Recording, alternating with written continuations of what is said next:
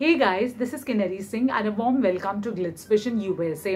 तो कल इसके शो सुहागन में आएगा 10 साल का लीप और लीप के बाद जहाँ बिंदिया हमें एज एन एग्रीकल्चरलिस्ट दिखाई देंगी वहीं पायल जो है कॉलेज में यूनिवर्सिटी में वो पढ़ रही हैं और जहाँ बिंदिया जो है रिस्पॉन्सिबिलिटीज़ लेती हैं बहुत ही जिम्मेदार है वहीं पायल जो है बहुत ही शर्मिंदगी महसूस करती हैं अपने बैकग्राउंड को लेके उनका जो फाइनेंशियल स्टेटस है तो इन चीज़ों को लेके बहुत शर्मिंदगी महसूस करती है।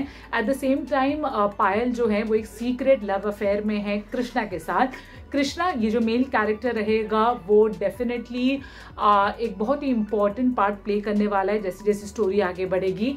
क्योंकि कृष्णा जो है एक बहुत ही रिच बैकग्राउंड से बिलोंग करते हैं आ, लेकिन जिम्मेदारियों से हमेशा वो दूर भागते और किस तरह से ट्रैक जो है ऐसा ट्विस्ट करेगा कि कृष्णा की जो शादी है वो बिंदिया से हो जाती है। एंड डेफिनेटली उसके बाद जो है बिंदिया और पायल में बहुत सारे डिफरेंसेस होते हैं। और इवेंचुअली कैसे पायल एक ग्रेट कैरेक्टर बन जाती है। तो डेफिनेटली ट्रैक तो काफ़ी ज़्यादा इंटरेस्टिंग है। अब हम आपको ये बता दें कि बिंदिया का जो कैरेक्टर है, वो डेब्यूटांट गरिमा प्ले कर रही हैं। पायल का जो कैरेक्टर है, वो अंशुला धवन प्ले कर रही हैं। और कृष्णा का जो कैरेक्टर है, वो राघव ठाकुर प्ले कर रहे हैं। तो ये ऐसा कुछ होगा सुहागन का अपकमिंग ट्रैक आप हमें ज़रूर बताइए कि आपको इस ट्रैक के बारे में क्या कहना है anything positive negative what ever your views are do let us know in the comment section below and for more such updates do subscribe to Glitz Vision USA hi this is Nikki Tamboli and you are watching me on Glitz Vision USA thank you